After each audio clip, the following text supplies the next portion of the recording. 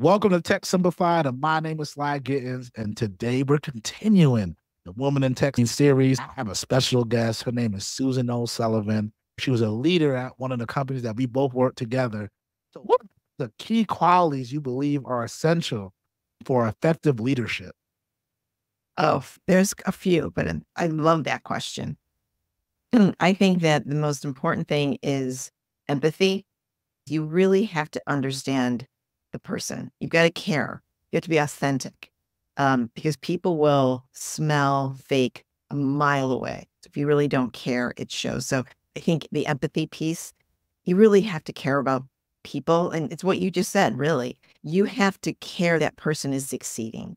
You have to have the humility and, and then sometimes the emotional intelligence to back off and say, you know what, this person needs to take the limelight it doesn't always have to be about me. It has to be about my team. So for me, it's you have to be authentic.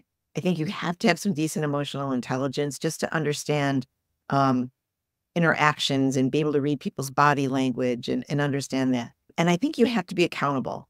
That's the big, I mean, you can't point fingers, right? That's the one thing that if people make mistakes, it was like, all right, just be accountable for it and we'll figure it out because nothing is worse. You've already made a mistake. Nothing is worse than you're, just getting piled on and piled on. Acknowledge you made a mistake and move forward. That's one of the, for me, that accountability, take ownership, fix it and move on, but don't dwell on it. So I'd say those were really, for me, the most important part from a leadership perspective. And allowing your people to have the spotlight is so incredibly important and allowing their ideas to come forward uh, so I guess the other piece would be collaborative. I think you really have to you pick people to be on your teams, or you sometimes just inherit teams, but they're on that team for a reason. like you said, they have a certain skill set. Let them use that skill set. When I was building my teams, the most important thing for me was to find people that were different than I was. And I think this goes a little bit into the diversity piece of it, the equity and inclusion and the belonging piece. I already have me. I know what I'm good at and I know what I'm bad at. So I am going to surround myself with people who can really pick up the slack in the things that I'm not good on. And then also making sure that people are different on the team because everyone brings different experiences, different thought processes. And you need to embrace that. Because if I hired a whole bunch of people that were exactly like me, thought like me, we wouldn't get anything done. You got to be open to everybody's ideas. So I guess it does walk into uh, a quality from a leader. I think they have to be open to different ideas, different thoughts, and, and explore them. You may not use them because at the end of the day, again, goes back to the accountability. You have to make the decision, but be open enough to hear everybody's thought and idea. And again, if you have the, luxury of being able to bring input in, get input. Why wouldn't you? I was reading a book and it talked about leaders bad times, a leader in good times, two different qualities. Good times, you can take the input. Bad times, you got to make sure you stay afloat. Right? There's different type of communication that's needed. And I know when I made the switch, individual contributor to a director, communication was where I was failing at. Well, technically, I knew the tech stuff in and out, but now I had to write it, right? I had to write it pristinely. And my biggest weakness is grammars. What I end up doing is hiring an editor who would edit my stuff before I sent to my CMO. It cost me some extra money to do it, but I do. I would. I do the tech about it. I just sometimes needed help with that portion of it. But I made sure now on my team, even my scripts now when I'm writing those, I have an editor. Take a look at it. I have a video editor to make sure the pieces are actually in the right quality. I know details for me might not be the best. I'm a typical marketing sale tech, but I know now for me, I need to have those type of people in there. I need the people who are very process focused. Need the people who dot the I's and cross the T's. So now I know, like you said, how you build your team. Like even when I do my training, they always ask me for technical training. I'm like, you're probably not getting a job because of your communication. But then you do your homework on the culture. What do they like? Is everything about you? I had a good friend, like he talks about all his sales wins. But you're going for a program, man. You got to scale that. You need to talk about how you scale those wins for other people. They don't care what you did individually.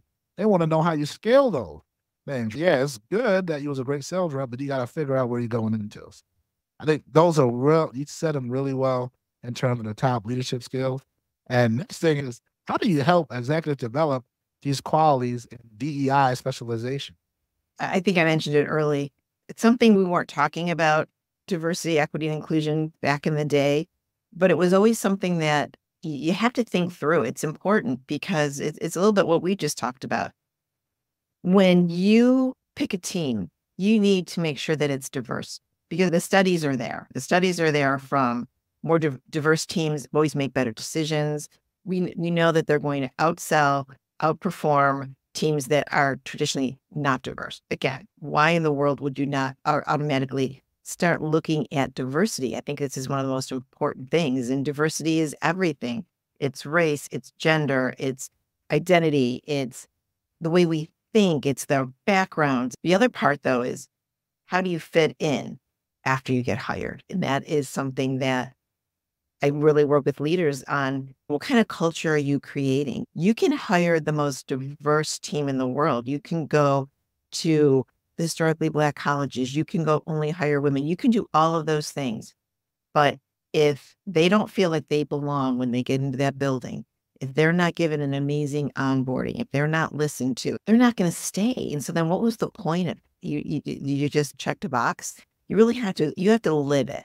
And that's what I try to, to imbue in my coaching from an executive is are you thinking about those pieces? Because it's really important. You will be more successful if you take those thoughts and start really building them into how not only you hire, how you train, how you work your development programs, right? Like sometimes you're going to double down on bringing certain people up because if somebody hadn't like really taken a wow, we probably need a, a woman here in this table, right? Maybe I wouldn't have gotten there, right? So sometimes you really do have to say, let's really look at how we are here. Do we have a, a, a balance here? Are we helping each other? Or are we all just thinking the same way? You start seeing we were always hiring from a certain college, a certain baseball team, a certain lacrosse team. You're like, that's great. And they're wonderful athletes and they they have all the great qualities. But we're all starting to get a lot of group think. So let's just think about and I noticed that too when I first joined, because I remember when I went in to Ingram and they said in the, the new hire meeting, how many people knew someone to get in? Everyone raised their hand, but me. Isn't that funny? And it was funny. And then they were like, people from Buffalo want to raise their hand or Greater Buffalo. I'm like, I'm from Brooklyn. Like it was, just, it's different because I'm Caribbean. And the way I grew up was a lot different. I'm like, I went to high school in Brooklyn. It was a lot high school. It was different trying to be fit in because certain things, I'm like, just don't do, right? Like when I go home, I'm thinking about food, something simple as that. I'm like, rice and stewed chicken. I, I was thinking that to my husband, what's that? What's oxtail? I don't eat that. Like it was just different. And then I think one thing I think we started doing is diversity and like potlucks. You get to learn a lot to people. I never uh, had Polish food before. I got to eat Polish food. It was really good got to eat Spanish food. I got to bring some of my Caribbean food. You know, now Microsoft does a really good job. They got BAM, we can talk. We got different things that we can integrate. Even if I'm feeling like my team doesn't offer them, there's a place for me to go talk to someone who's experiencing something similar, whether it's leadership, whether it's other skills. I know as a leader, sometimes we feel like that's not our job, but I think for employees, it is because they spend a lot of time at work, right? And I realize the companies that I that I went to, like when I went to Ingram, I loved Ingram. I was there for seven years right? Because it had a good balance, right? Of work. You did earn a lot. And you also did have a sense of a family, right? I went to other companies where it was completely transactional and you felt something. This is it really this bad? Like, wow, we can have a conversation. I can share this and you still can get promoted. But you felt like you had to keep everything close because it wasn't as a warm feeling like I had in a couple of companies, right? Now let's talk about how do you integrate DNI, DEI principles into your work as a sales consultant and executive coach? Yeah, I think for me, it's just so embedded in who I am. Frankly, it's one of those things where you ask a few questions about the culture, you start asking about how just there, especially from a, a recruiting perspective. And it's just part of who I am and coach to it. I talk through it. It's just embedded in me now. And I think when I ran the campus in Buffalo, that was a big part of it because you want to know that it's that culture that you want to create when I'm talking about whether it's the, the sales culture, we're doing some training or sales consulting with the culture of your company. So that's really going to give me some insight into do you like the culture that you have? Is it the culture that the CEO believes? Is it the culture that the worker believes, right? There's, mm-hmm. there's different thought processes on what that culture really is. So that's probably my very first question. I want to talk to the leadership. That's where I start off. But I always want to spend time with the front line and I want to spend time with line managers because that's where I'm really going to get the understanding of what the true processes are, what the true customer is, what the true customer experience is, because you've got an idea of what it is, they know what it is. And then you just weave it all together. And, and that makes sense because sometimes when you become a layer or two removed, reality doesn't match up to people on the ground. I remember when I switched from being an individual contributor, talking directly with a customer as a technology consultant and switching to product marketing, right? Now I'm one layer removed. I got to go through a sales engineer or a sales rep to ask what the customer wants. In your case, like development of culture, right?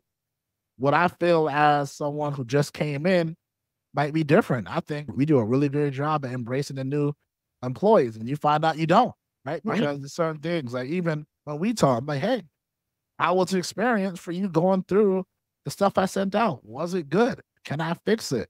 Was it enough? Right? Because before I had a call to talk to people, like, I don't got time to set up two calls, Sly. I'm like, why don't I this happen? Why don't I have like questions for them to look at? Right. Again, but I had to talk to my guests to tell me if it was good enough or not. And we're gonna change gears because on my channel, I love talking to the people entry, middle level, or aspiring to be leaders. Right. So let's talk about what advice would you give to women aspiring to reach a senior executive role? First thing, and I think I mentioned it earlier, make the decision to do it. We need more women leaders. And I'm just going to throw it out there. We need more women of color. We need more men of color, but we definitely need more women leaders. Yeah. So make that decision. Just take it. I can honestly tell you, make that leap to say, yes, that I want to do it. The second thing is find yourself a good mentor. And I would say maybe even multiple mentors. Find one within your company because that's going to be incredibly important. And I would also say outside the company because it's always nice to have a different thought process. And I always try and get somebody older and somebody younger. That was my goal in when I was looking for mentorship. But also make sure you're having a really good conversation with your boss. What do they see?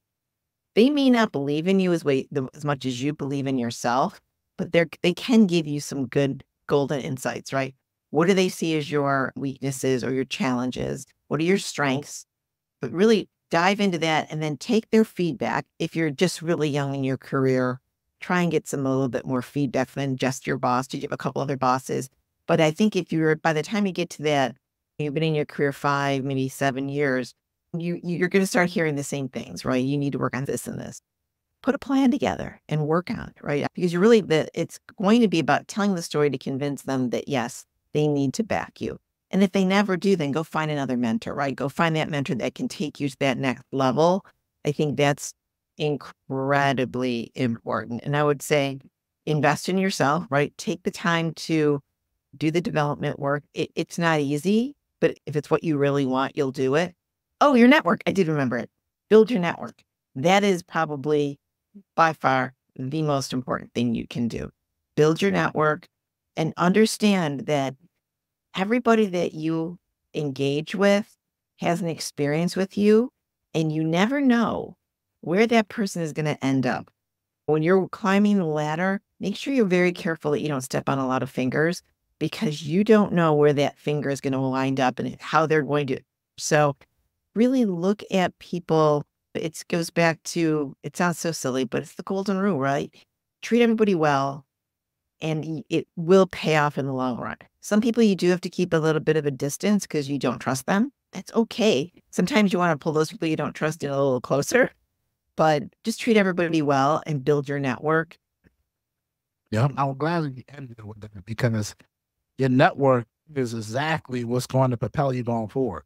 Absolutely. Um, a lot of my latest roles, I knew the person or I knew the manager. I still had to do the interview, of course, but I they knew what I could do already and invest in yourself. I try to read a hundred books or listen to them. I go to workshops. I set aside each year on training activities that I can use. That doesn't mean I use all seven thousand dollars, but I try my best to get better because I know there's areas that I can get better when I'm hanging out with people like yourself. I got the chance to go meet some of the executives at Ingram or, or when I was at Microsoft. I remember meeting Paul Bay and this dude was reading stuff that I didn't even understand. I'm like, what? The?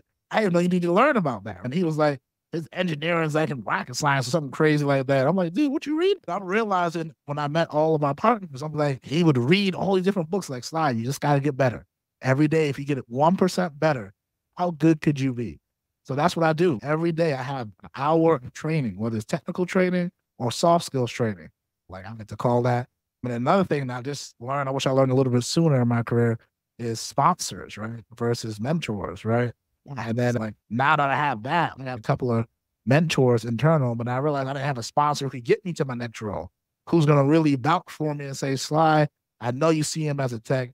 I know you see him as a marketer. A wild card. He does a lot of stuff outside of work, but he's good at this. Let's do this. Are they willing to put their name on the line for you, right? To get there, you're gonna need, well, as a male ally or a female ally or someone outside to really vouch for you. I found that really helps you get to that next level. The first thing you said is you have to make the decision. So many times I find even myself seesawing right? What I want to do. And then you like, Sly, I can't help you. I don't know what you need help with. What do you want? You're doing this over here, or are you doing this? Which one do you want? I'm like, hey, Susan, I want to be a VP one day. Okay, that's great. What's the plan on getting there? What do you need from me? Okay, you're at this level now. What is the plan? And come prepared to have that conversation instead of having the other person tell you what to do. I'm realizing you have to take that initiative up front. Great tips. Again, trending down the future of work. We're going to talk about trends, especially concern DEI and leadership, because the landscape is changing with AI. It's changing the way we go on remote work. How do you see the trends and how do we prepare for that? Oh, so I think the remote work is a big one because when you start thinking about know, there's so many biases. First of all, we're all biased. There's no question about it. Everybody has mm-hmm. biases. But the bias that I'm really concerned about, and I think it's going to affect more women frankly, than men, is the bias of being in the office, right? Because you're seen versus being unseen. Yeah. That to me is going to be really critical for women because um, more women are embracing that work from home. They've got maybe a few more things from a home front that they need to be home for. Getting kids off the bus, just throwing laundry in on your lunch, those little things that can really make your household go a lot smoother for your life. But I think we're going to have to make sure that you get into that office, you get some type of FaceTime so that you're not forgotten, because that is my biggest concern for women. How are you going to be forgotten? You're doing a great job, but Sly, you're in the office. I can go talk to you really quick. And so it's just, oh, that special project. Sly's right there. I can talk. We can bring in my office real quick. Am I going to call this person that I never see? Oh, that's right. Susan, that's right. She works remote. Figuring out how we make sure that we all have that level playing field when it comes to opportunities, projects, things that can really move your career forward. Having just walk to your point when you said just walking in the door with somebody, just so you can have a quick hello and oh yeah, they were walking in the same time I was, or we drank the same coffee. Just that little bit of knowing you always puts you a little bit ahead of somebody else. So I think that's going to be a very big trend. I do think the AI from a diversity perspective, we got to be very careful because as it's written, it, there's biases built into the code. So we've got to be very careful how we use AI for recruiting, for everything, frankly, how we're even, we're all throwing things with ChatGPT. And then I think just the training, I, because here's the interesting thing. I don't think, I mean, I could be wrong, but I don't think the qualities of a leader, what's needed for a leader are going to change. Maybe tweak here and there, but they have to be authentic. They have to lead with a purpose. They have to be a good communicator. They have all those pieces that whether you're doing a remote, sometimes remote is even more important. So I, I think it's making sure that we are developing people and that we're using uh, that doesn't just fall to the easiest, right? We're going to really challenge ourselves to make sure that we're getting development and training out to everybody. I think the training is going to change a lot too, how we train, what we train with AI, all the changes just to how our jobs are going to, what jobs are going to be out there. I don't even know what jobs are going to be out there. So that's just going to be very interesting to see. Oh yeah, it's going to be tough. And we, we're not going to see that because we're seeing how I'm seeing a lot of roles changing. I saw a company got rid of their people who stock shelves and got a robot. And they pay someone in Indonesia three dollars an hour to run the robot, and they don't live in the store, right? I used to do a lot of long form videos on YouTube. But lately I've been doing more vertical videos because people like short 30, 40 second videos. So then even now my trainings, I'm doing, I'm gonna have an option where you just do, it's gonna be like a hundred, one minute, but people prefer that. Like this attention span. Even when I'm engaging now, I've been using those and I realized there wasn't any person of color. There wasn't no one there. Right. And even when you did, they got the person of color, it didn't have a, a voice that would, I think that I, I should, right? Like it didn't sound like someone a person of color. That just depends on where you are. But I just saw so many little things that I'm realizing that's changing. And even for me, you gotta be able to use AI. It's not going anywhere. like my parents, they don't know how to use the internet that well, and you see them have a hard time. And I feel like if you don't know how to use like AI, you're gonna have a hard time going forward. Right? People see all the bad things about it, but how can it make you more efficient? Right. I tell you right now, sometimes I suck at tone. What tone is Susan saying? Is she angry?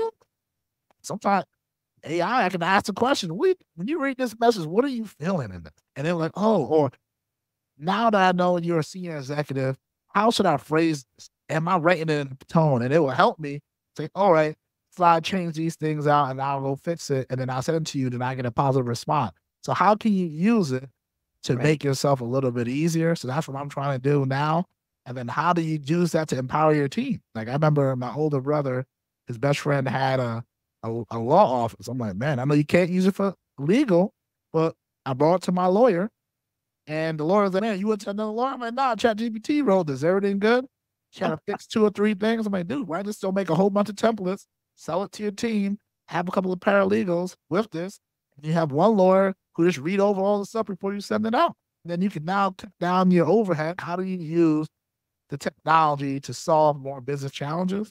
So I think the way we do work will be different. It's like people thought it was the end of the world when we switched from horses to cars, right?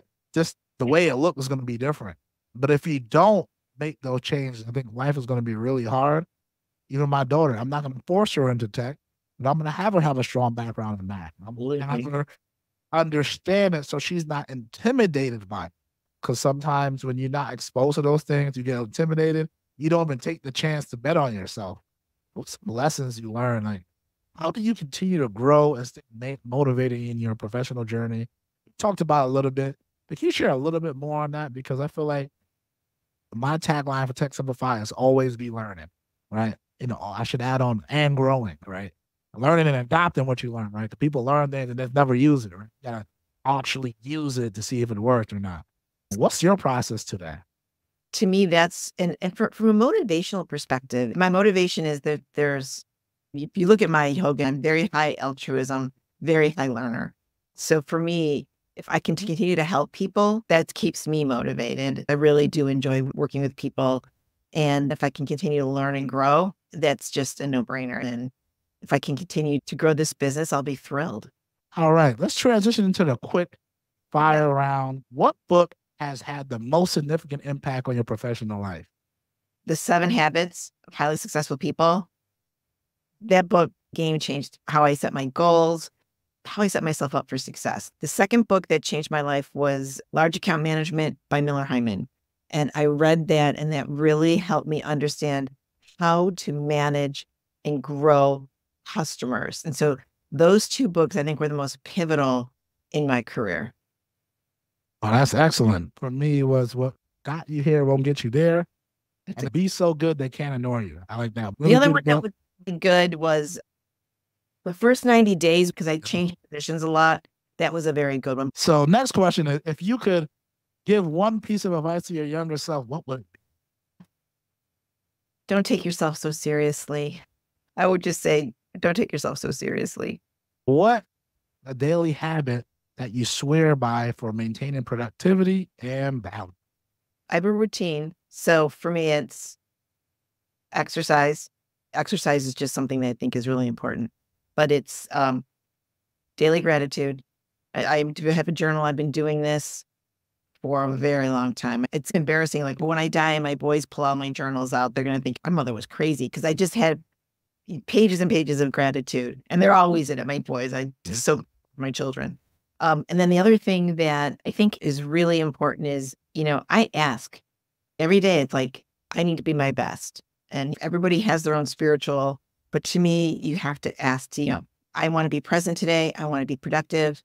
And if you ask, you throw it out to the heavens and the gods, it's amazing what you get done. So it's not taking it for granted. It's being thankful and asking for help and asking to make the most of each and every day. And if you go in being it's very purposeful, right? I start the same with exercise. Then I read my um, daily affirmation I got in front of me. Um, I got a journal to figure out what I did yesterday, what I like, where can I got better, um, where did I lose patience, where was a better chance where I was able to learn first or teach first. Even being a parent, sometimes for me, you get upset.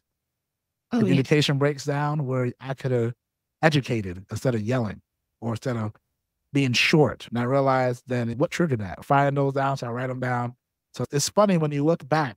I look back to some of my journals from college and a lot of the things I was trying to figure out. Like you said, I stopped taking it so serious, but I'm glad I wrote it down. Amazing. You write them down and they become real.